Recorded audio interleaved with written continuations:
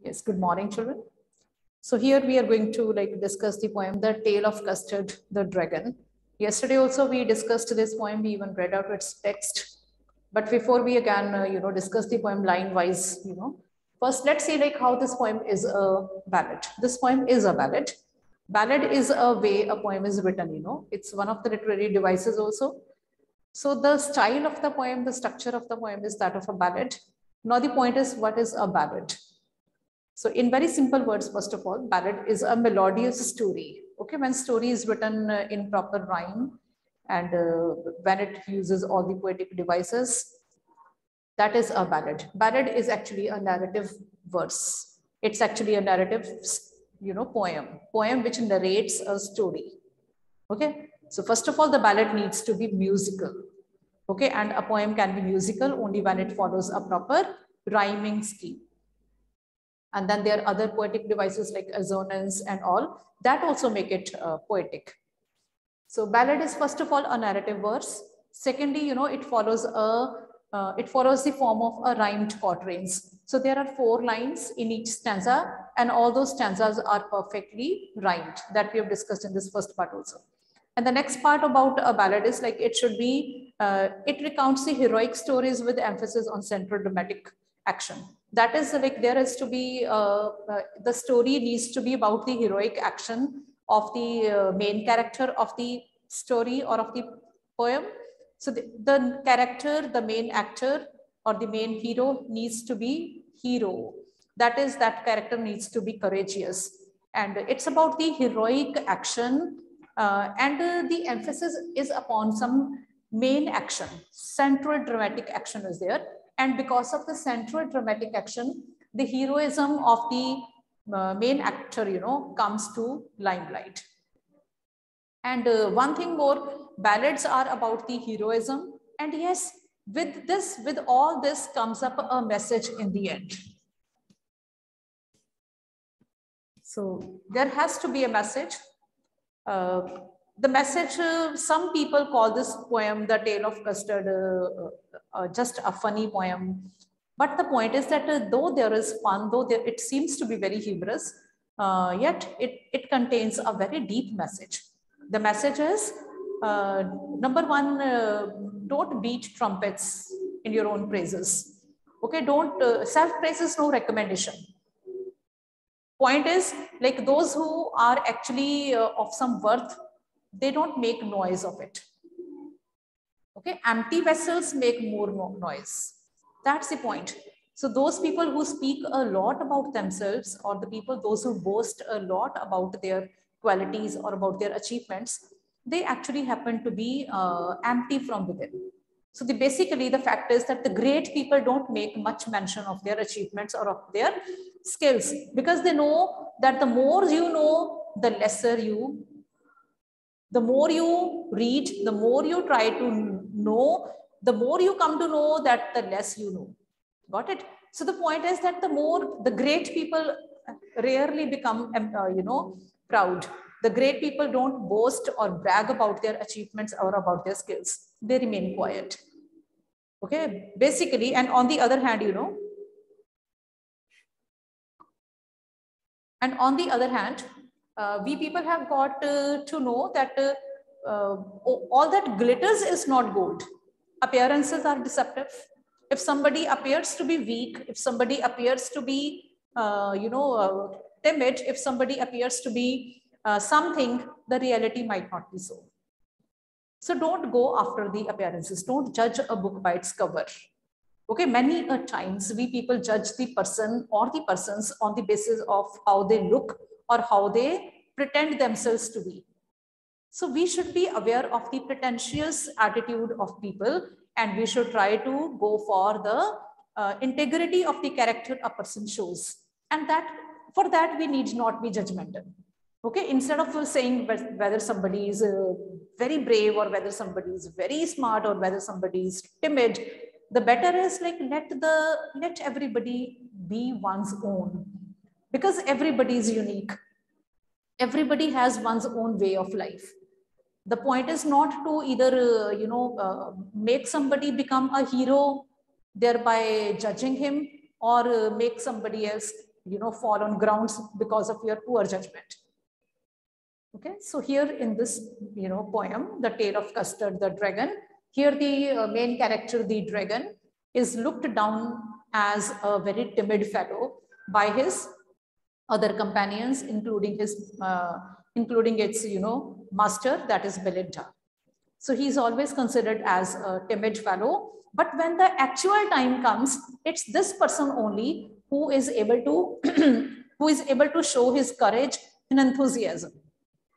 He's able to put up a brave front when the real situation comes. And when that is done, again, he again resorts to the same uh, cozy zone where he doesn't mind being called as a, as a timid fellow. So great people only believe in doing the things. They don't believe in making noise about it. They don't believe in making announcements of what they've done. Okay, that's the message this poem is also conveying. And uh, it's a story about the courage of the dragon. That's why it is about the heroism. And moreover, the ballad is also not a ballad if there is there are no literary devices. So many poetic devices have been used, literary devices have been used and they enrich the poem. They beautify the poem. And the purpose of all the literary devices is to make the poem enriched and uh, and wherever some poetic devices used, it is there to emphasize the theme only, not just to adore the poem. All right.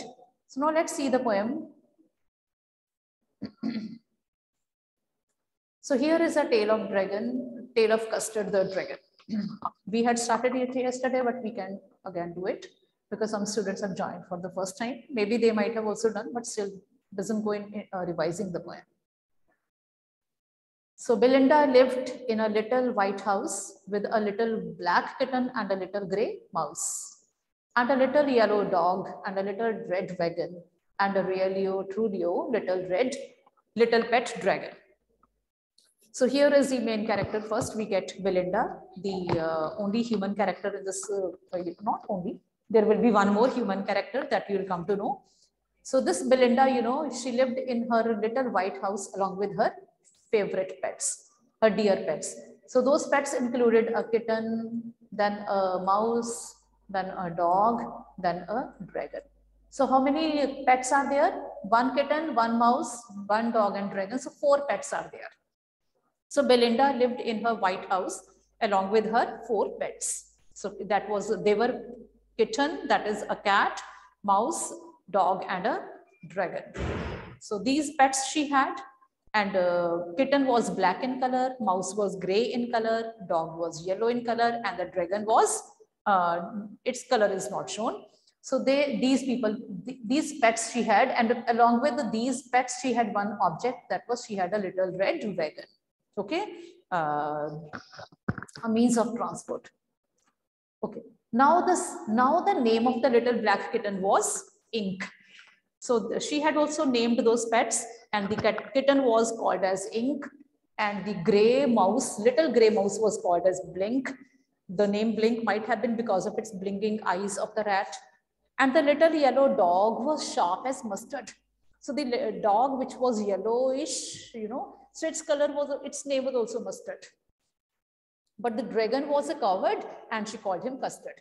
So uh, along with the other adjectives, the dragon has been given the adjective of being a coward and it was called as custard. So custard is a name of dragon.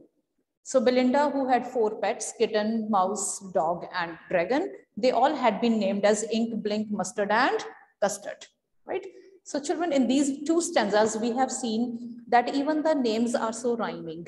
Even the even in the names, there is some sort of, you know, uh, melody, ink, blink, mustard custard, you know, see the rhyming scheme. Ink blink AA, mustard custard BB. So AA, BB will be the poetic uh, rhyming scheme of the whole poem. So number one, the stanzas are uh, four, there are uh, four lined stanzas, quatrain. So quatrain is, each quatrain is rhymed A-A-B-B. Okay, because when you'll be asked like, how is this poem a perfect ballad?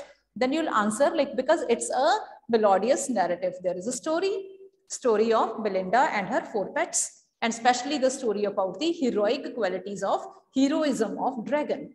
And moreover, the, there, are, uh, there are The poem has got quatrains and each quatrain has, uh, you know, rhyming scheme A, A, B, B.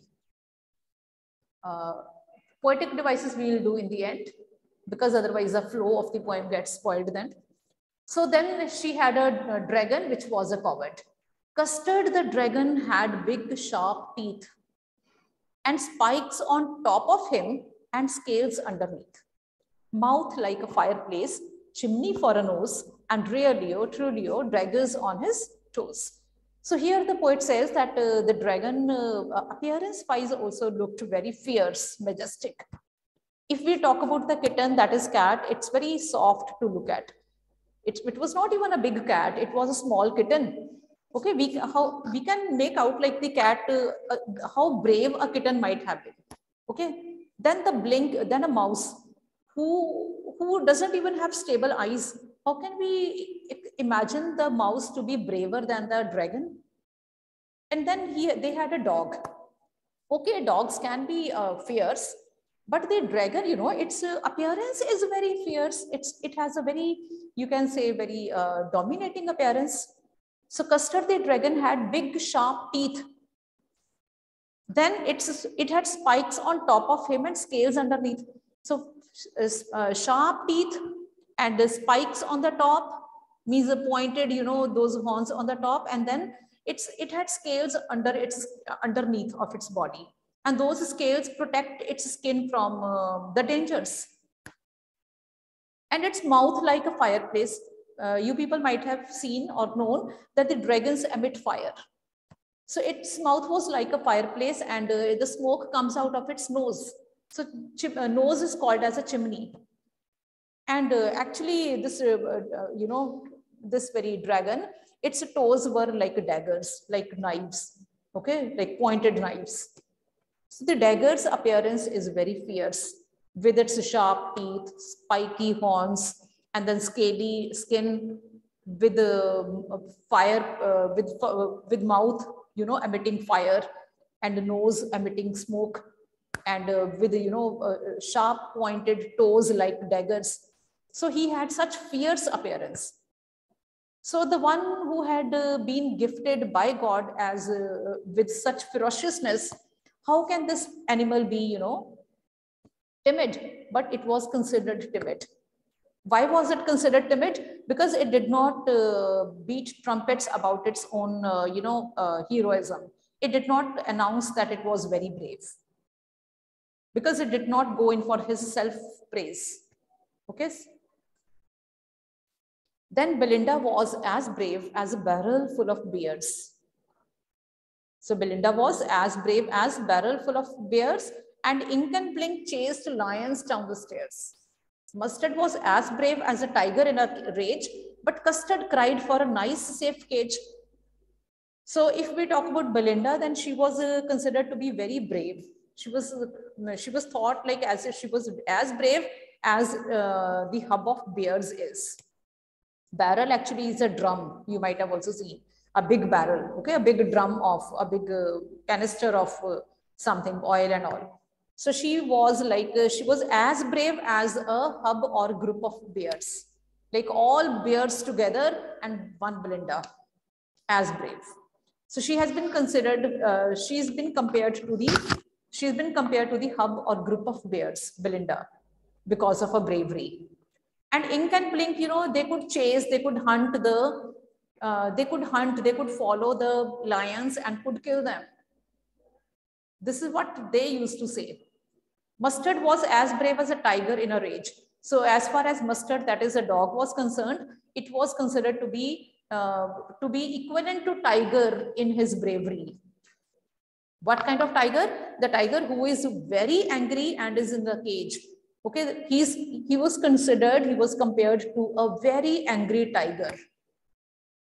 But Custard cried for a nice safe cage. But they all used to say that this Custard was very timid and whenever there was something, uh, you know, difficult situation, whenever there would be a disastrous situation, he would run for a cozy corner because he was timid.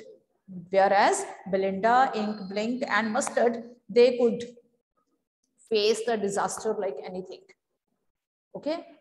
The point is, who is saying these things that Belinda was uh, like a group of bears or the ink and blink, they could hunt the lions and all. Who was saying all these things? They themselves. Okay, no one else is coming to announce these things for them. It, it is what they considered, they talked about themselves as. Okay, Custard did not say anything about himself. He would just go for a cozy corner and he would sit there and relax. Okay, so then Belinda tickled him and she tickled him unmerciful. So in order to tease or in order to make him get up and become a bit energetic, you know, Belinda would tickle him and would make fun of him. And she would do this in a very cruel manner, in an unkind and cold manner. She would not mind like what, what effect it will have upon that uh, dragon.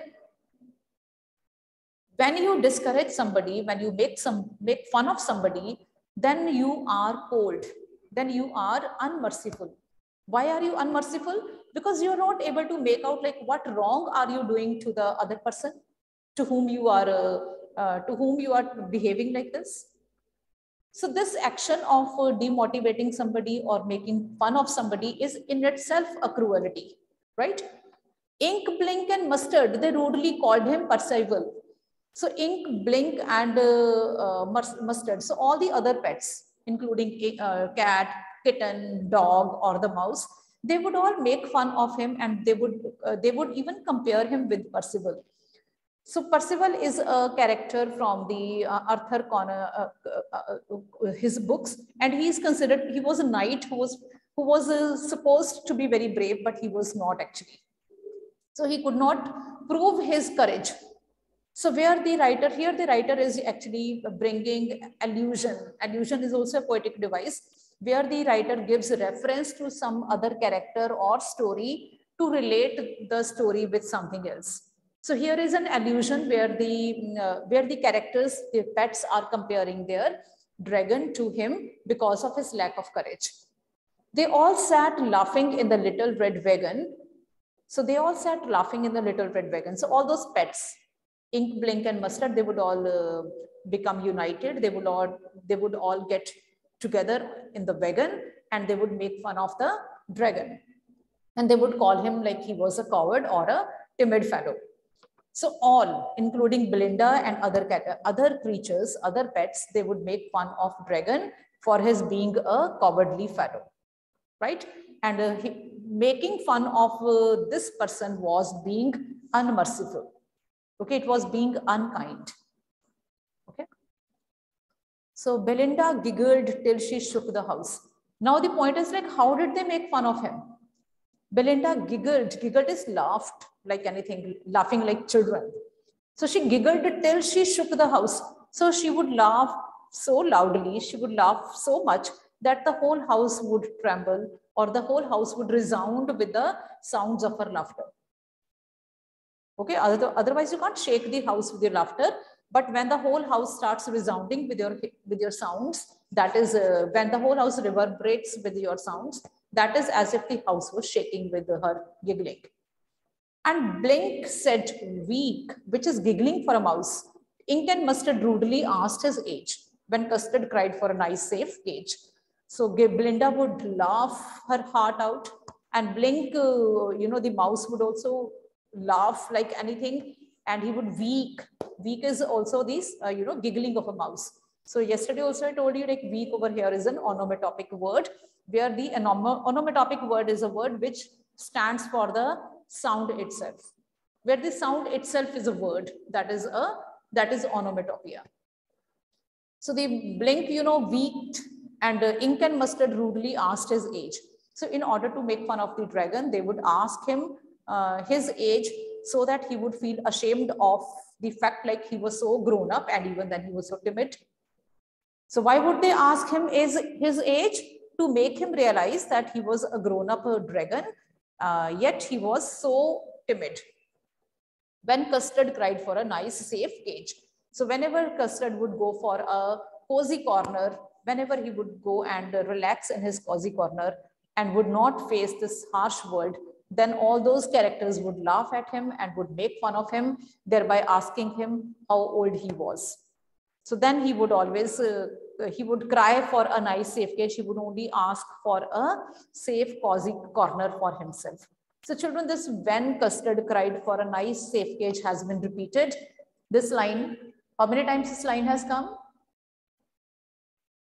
One and two. This line has come for the second time. So this line will be coming again. So this line is a refrain. So the line, when, uh, when some sentence is repeated, when some line is repeated, that we call as refrain. The poetic device refrain has been used here.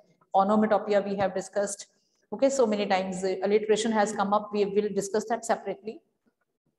So when custard cried for a nice safe cage, suddenly, suddenly they heard a nasty sound and mustard growled and they all looked around. Now the climax is coming. Climax is when the event, when the action of the story will be at the culminating point. When you will see that the action packed story is coming now. So suddenly they heard some nasty sound. Means very suddenly what has been repeated to mean that uh, now what is going to happen that happened actually abruptly.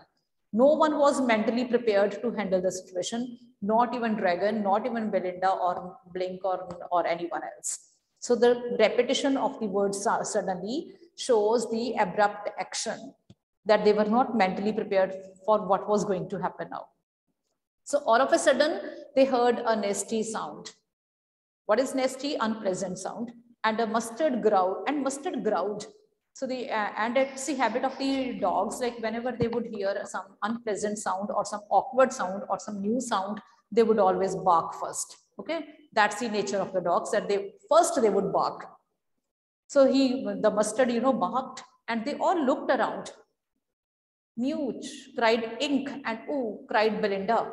So all creatures, all pets, you know, they, uh, they reacted as per their nature. The dog barked, the the kitten, you know, it mewed and Belinda, you know, she just uh, uh, uh, exclaimed, Ooh, for there was a pirate climbing in, wind, in the window. Window is a window only, and in order to rhyme this word window with Belinda, the poet has used poetic license and has changed the spellings of window to winda. So otherwise, winda is no word, it's a window only and we call it a poetic license where the poets use change the spellings of the words or change the grammatical rules to rhyme the poem. So all creatures, you know, they uh, they reacted in their typical way uh, because like why why did they react like the, that way? Because they had seen a pirate who had come uh, who had come inside their house, uh, thereby climbing in through the window. So pirate is what? He is a sea robber. Okay, he robs the people in the sea. So that pirate had come in this house, thereby climbing through the window.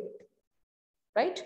So when they saw the pirate that, uh, you know, uh, when they saw that robber coming, entering their house, they all reacted in their particular way. Pistol in his left hand, pistol in his right. So the pistol word has been repeated. The repetition of the pistol shows uh, it is there, repetition is there to emphasize the, uh, to emphasize like how fierce and, uh, you know, ferocious that man was looking. He didn't look to be very soothing in appearance. His appearance was very ghastly, or you can say, very violent one. So he had the pistol in his both hands and he held in his teeth a cutlass bright. So he was holding, you know, a sword in his teeth both hands he in both hands he had uh, pistols handguns and in his you know mouth he was holding a uh, what we say sword a small sword uh, with a handle so cutlass over here is a small sword and he held in his teeth a cutlass bright. His beard was black. One leg was wood. So he had a long beard. He had a long black beard. And his one leg was artificial. So he had one broken leg. Though he had one, he was a lame, uh, you know, this uh, man was lame, this uh, pirate was lame, yet he was not less ferocious. It was clear that the pirate meant no good. So the way he had entered, the way uh, he was looking so ferocious, fully armed, it was fully like it was clear that he didn't mean any good for the family, that he had not come inside with good intentions. It was sure shot. Belinda paled and she cried, help, help. So it is the same Belinda who used to be considered as brave like the hub of bears. Now the same Belinda, when she saw the pirate in front of her, she became pale, her, the, uh, she got discolored and she started asking for help. But Mustard fled with a terrified yelp and uh, Mustard dog also ran away uh, as he was extremely terrified. Ink trickled down to the bottom of the household. Trickled down means ran down. Even ink, ink was what? Cat. Even cat also ran away she also ran towards the bottom of the household. She, uh, she hid herself somewhere uh, under the, in somewhere at the, in the house. And the little mouse blinked strategically mouseholed. And the mouse also very, uh, in a very strategic manner, in a very smart manner, he also entered his mouse hole. Okay, so he entered the mouse hole. The kitten also uh, and, uh, went somewhere and hid herself. Mustard also ran away because he was terrified and Belinda was already asking for help. So the people, those who were comparing themselves to the tiger, the lions, the bears, so all those people now, they had paled, they had become terrified. But up jumped Custard. At this crucial time, when the life of all these people was in danger, when there was no chance for survival, then Custard, you know, he jumped to, uh, to action. He jumped, but jumped up custard, snorting like an engine, clashed his tail like irons in a dungeon, with a clatter and a clank and a jangling squirm, he went at the pirate like a robin at a worm. So now the, you know, this very custard, the one who was always considered to be uh, a, a timid or a coward, that person, you know, rose to action. He jumped up means he rose to action. And uh, first of all, he uh, snorted like an engine. First of all, he gave a fierce cry like that of an engine, clashed his tails like irons in a dungeon. Then he clanged or clashed his tail like irons in a dungeon. So with the fierce movement of the tail, so this very custard, you know, who was now getting ready to attack the uh, what we say, pirate. Uh, first of all, he gave, he snorted, he gave a very fierce sound. And that fierce sound was like that of an engine, which was enough, first of all, to, uh, to frighten that pirate off his feet. Then he uh, clanged his, then he clashed his tail. Then he gave his uh, tail that fierce movement uh, as if he was a clash, as if the iron, irons in the jail were being, were being put to rub against each other with a clatter and a clank and a jangling squirm. So all these clattering, clanking and jangling, you know, these are all again onomatopic words, which all uh, uh, suggest the sound. So uh, with a clatter, a clank and a jangling squirm, he went at the pirate like a robin at a worm. So with all those, you know, fierce sounds, the uh, dragon attacked the pirate the way a robin attacks a worm. So he attacked the pirate like a robin, like the robin who attacks the worms. So Custard at that crucial moment attacked the pirate with all ferocity, with all, you know, ferociousness that the pirate did not have much time to think, pick what to do. The pirate gaped at Belinda's dragon. The pirate was like shocked. He was like stunned to see uh, this kind of creature who had come up to attack him, the one who had come to counter him. So he gaped at, gaped at means like he looked at him with his mouth wide open. He was shocked. Like how come this kind of creature had come to counter him or to attack him? He was stunned and looked at the dragon with his open mouth, open wide mouth and gulped some grog from his pocket flagon. So when he saw that uh, fierce dragon attacking him, then he took some, uh, you know, wine or some uh, drink from his pocket and gulped it. So in order to uh, gain some, you know, energy or some, uh, you can say some uh, sort of, you know, strength, he took out the bottle, he took out the, uh, you know, drink from his pocket flagon and gulped it. Okay, he just had it. He fired two bullets. So that uh, pirate had pistols in his hand, So he fired two bullets, but they didn't hit, but he missed. But those bullets missed the dragon and Custard gobbled him every bit. So though that pirate attacked the dragon with his pistol, with the bullets, but um, that could not affect the dragon because the, those bullets missed the target and the, and the dragon ate up the whole of pirate. So the custard gobbled him. Him is the pirate, gobbled means ate up. So the custard, that is the dragon, ate up the pirate, every bit. So he ate him up fully. So with this, when he ate him up, it means that the pirate had been killed. Okay, so from here we'll do tomorrow. Only four more stanzas are left. And with these four stanzas, we'll be doing the poetic devices also tomorrow, children. So keep your notebooks also ready tomorrow. All right. Thank you all.